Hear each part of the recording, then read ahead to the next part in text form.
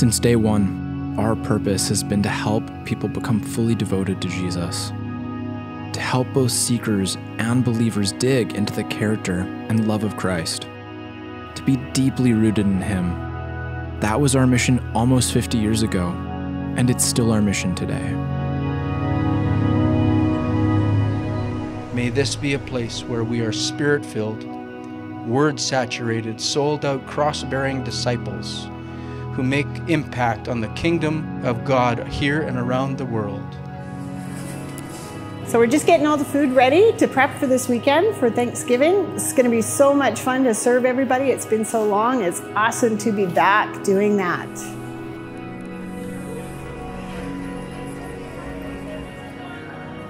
We're just prepping tech for this weekend. We're so pumped to commission our new building.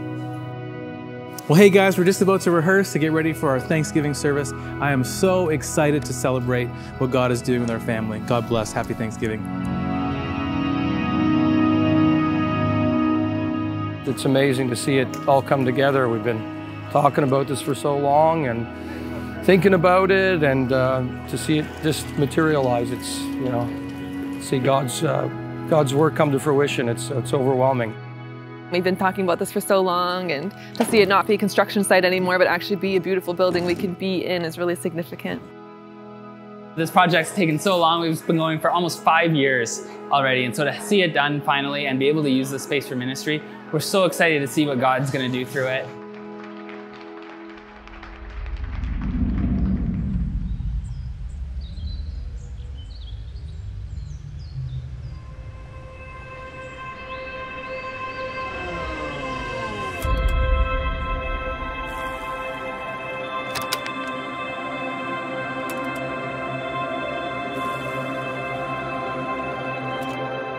It's been very clear from the beginning of this church that God had his hand on it.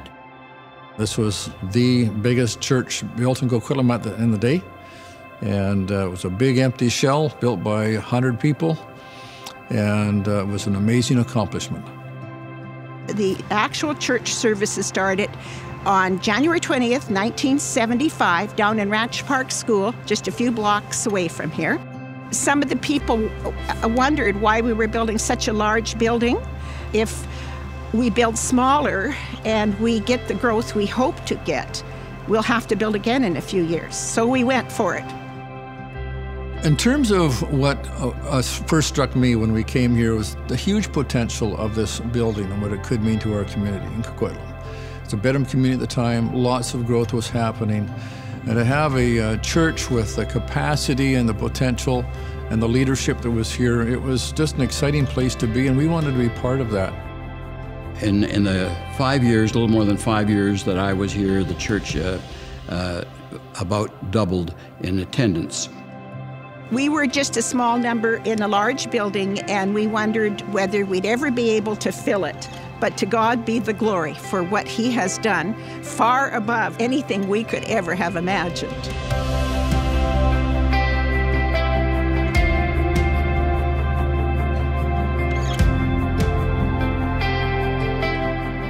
The elders um, and Mark decided it was time to build. Where can we build? What can we do? So they looked at all different options the decision after all of that work was that really our best option was to build on our site, close to our building. In January 2016, Greg Needham and Rob and I went to Florida to attend a conference that was put on by INJOY Ministries. They got all the algorithms and all the rest of the stuff for their computers, and they put all the stats in. And across the United States and Canada, they were saying a church our size, with everything we do, we're probably going to only have a million and a half to uh, two million. That's it. We knew we would need more than that, but we also knew they didn't know our church like we did. Now, the first thing we did was went to our elders and our staff. Then we went to key leaders, key giving leaders in our church. We said, What do you think? We think we need to be doing this. What do you think? Most all of those folks said, Good for you. We're going to stand with you in this. After that, we presented to the congregation, and uh, some of the things were a lot of fun. You may have remembered the Dancing with the Pastors, and uh, we had a lot of town hall meetings, and we did things, um, everything we could to answer the congregation's questions and put forward the vision.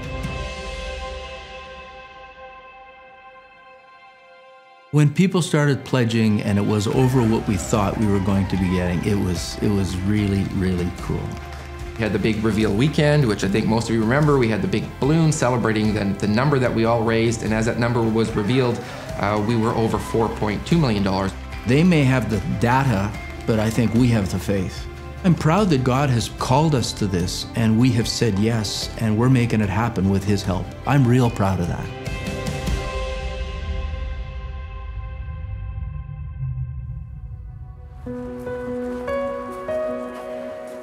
I don't know whose idea it was, but they said, let's have these little flags and write some people's name, maybe one or two people that you need to pray for. And then we took all these flags, put them all together, and put them right into the foundation of our church. That's what we're here for. We were able to put a name that we were praying for, that this ministry that came out of this project would come to the Lord or that God would meet them. The building committee has become friends. We pray for each other's families and issues that have come up. Rod had a son that went through some surgeries. That's been part of our prayer life together. It's become much more than just a building project. You said once, it's not about building a building, it's about building people. Yeah, I get a lot of people quoting that to me, even people who don't go to our church. If we raise X number of dollars and build a great church and everything else, but don't build the people's faith with it, we've failed. We've failed. The COVID thing, it sucked the wind right out of our sails. It was, it was tough. Not being able to be, be with people he loved. Oh, when COVID started, we were dealing with the unknown, and a lot of people were afraid. Things like uh, a worldwide shortage of uh, hot water heaters. We thought there'd be tons of kitchen equipment around, but the supply chain slowed down, it stopped, and then to get it became this huge issue. And it was a prayer factor that if we were going to have kitchen equipment on site in time for our inspections. One of the uh, message series that I want to do right away is going to be on fear. Fear not, because Jesus is with us.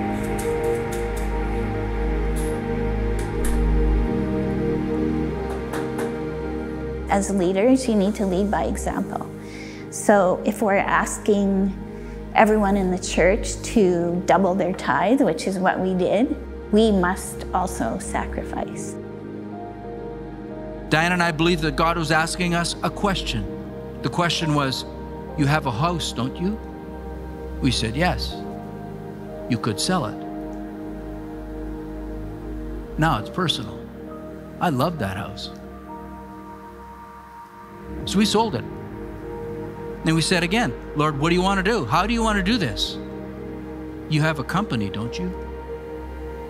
And I said, Yes, we do. You can sell it. And I said, Yes, sir. I don't think we realized when the building started what God's vision was for this. You know, we had something in our own mind, and I feel like He slowly unveiled our eyes. Not only will lives be transformed of people in our community as they come to know Jesus, as they meet Him, but transformation also happens as we serve. I think that as we open up this space, we're going to see that our entire church will be transformed as we allow God to use us and to minister in us and through us. It will transform all of us. Father, we are so thankful to you today, and we give you thanks with all of our heart. You have provided far beyond what we expected or what we even thought was possible. So now we come once more today with these requests that you, our God, will so fill this edifice with your Holy Spirit that every person coming through its doors will be aware of your holy presence. We give thanks today because of your generosity, and we commit to being generous to our community and around the world through the ministry of this church. I've done six building programs in my life. This is the first one I've cut ribbons. I'm not sure what a ribbon is for, but we're going to do it.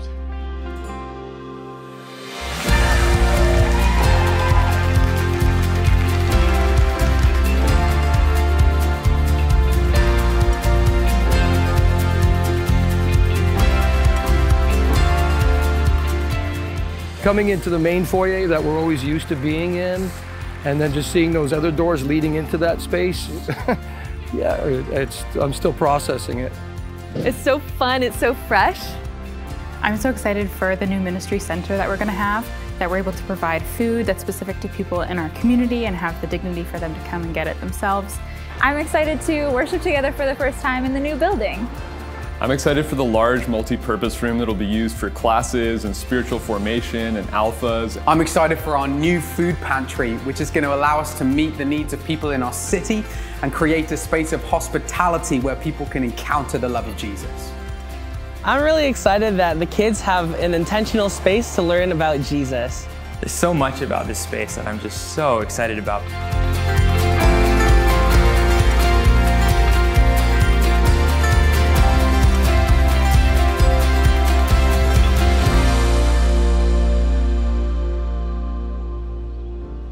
I think that our work hasn't even started yet. As we said from the beginning, we're not just building a building, we're building people. And so now the real work of building people and reaching our community is starting.